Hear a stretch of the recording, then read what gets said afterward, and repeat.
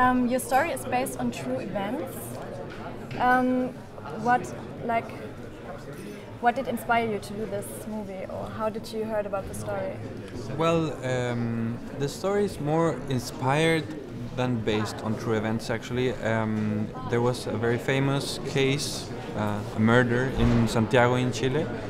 A boy, a gay boy, was uh, tortured and then killed. And I happen to know that boy. Um, I, I've worked as a musician for about a decade now, and that boy was a fan of mine. Um, I, I talked with him a couple of times, not not a close relationship at all. And his death was like particularly awful. It was very, it was all over the news. And um, when that happened, it kind of shocked me and affect, affected me rather deeply.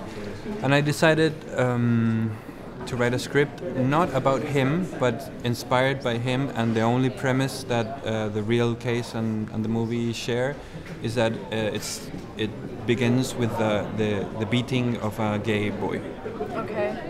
Um, when this happened, how was the reaction in the media? Was it like well known Yeah, all yeah. over Chile? Where, what was the reactions of the people? Yeah, it was some it? sort of um, how would you say like uh, some sort of symbolic case. Like for instance, we didn't have uh, a discrimination law, and after that happened, it was so horrific, so violent. Yeah. I, I won't go into the details because it's not necessary, but it was very, very, very violent.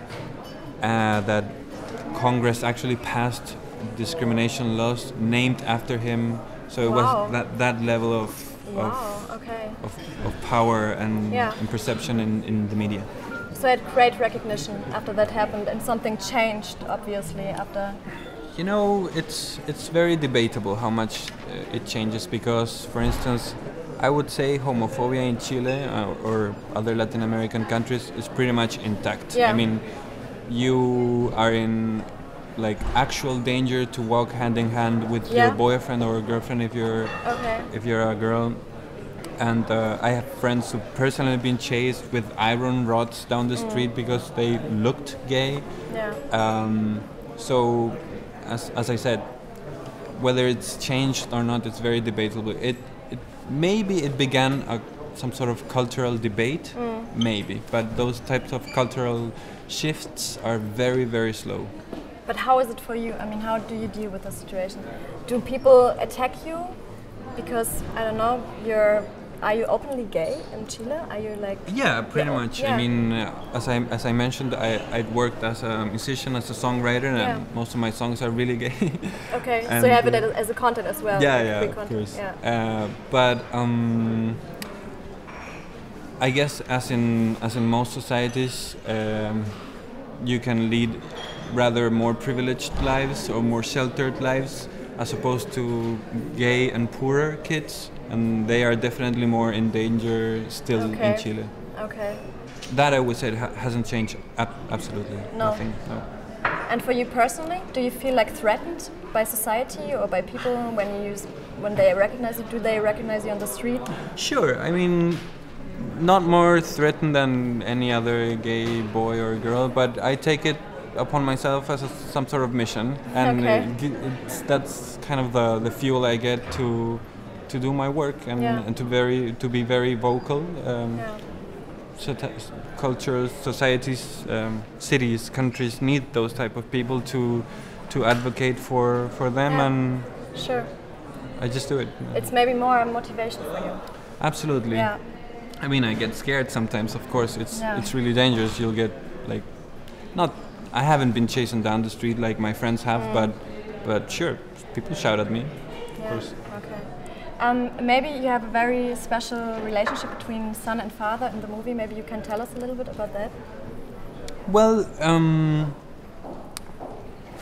the um, the idea of having the the story of um, of a father and a son is to um, to depict um, the way masculinity gets um, you know handed down from a generation more than masculinity the ideas of what being a, a, a man is supposed to be or, or what being a man involves and what happens when when when the boy has absolutely no interest in being manly and is uh, very comfortably and openly gay, Yeah.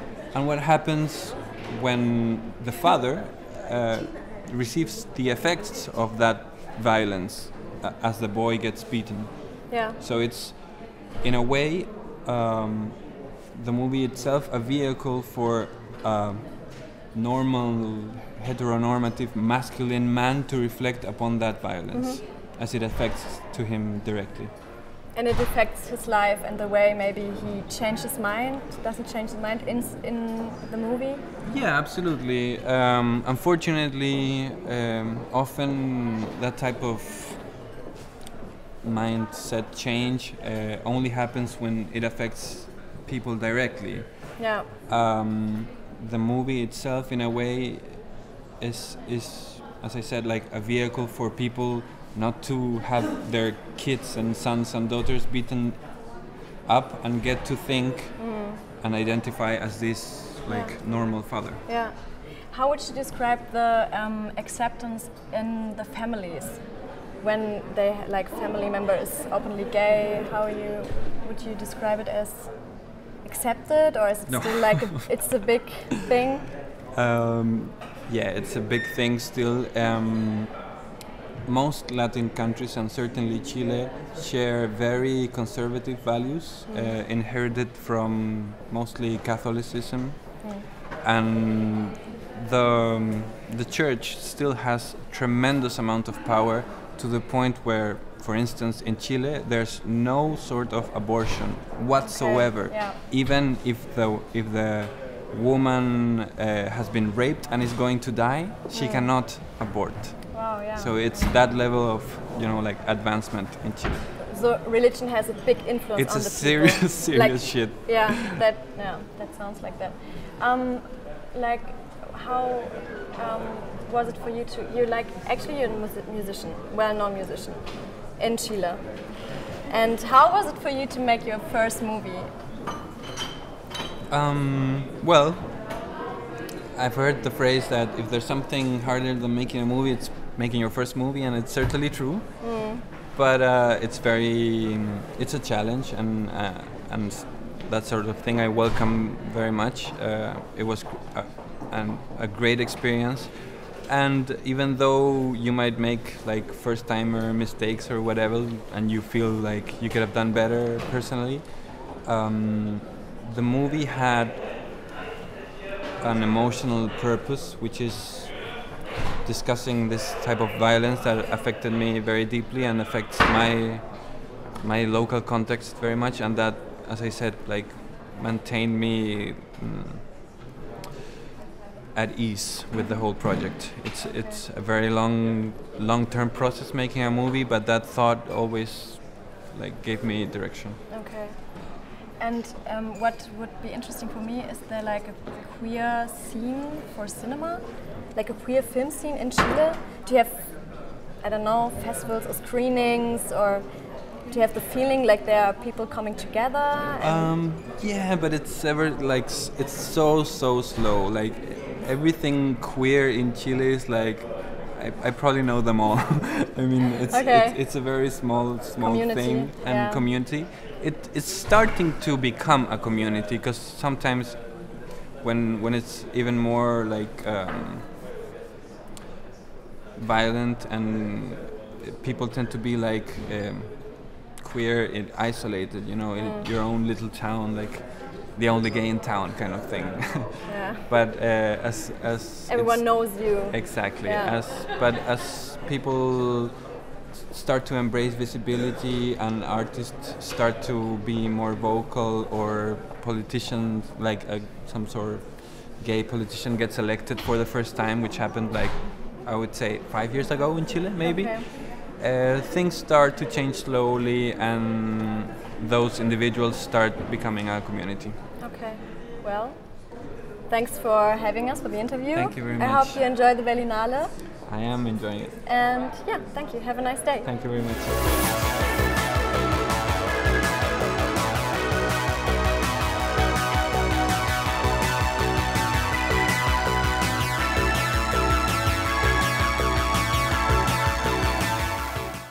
affected me rather deeply. And I decided um, to write a script not about him, but inspired by him. And the only premise that uh, the real case and, and the movie share is that uh, it's it begins with the, the the beating of a gay boy. Okay. Um, when this happened, how was the reaction in the media? Was it like well known Yeah, all yeah. over Chile? Where, what was the reactions of the people? Yeah, it was some it? sort of um, how would you say like uh, some sort of symbolic case. Like for instance, we didn't have uh, a discrimination law, and after that happened, it was so horrific, so violent. Yeah. I, I won't go into the details because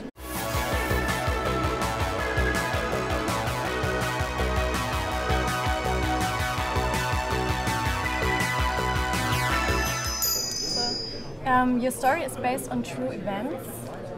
Um, what, like, what did inspire you to do this movie, or how did you heard about the story? about a decade now, and that boy was a fan of mine. Um, I, I okay. talked with him a couple of times, not not a close relationship at all.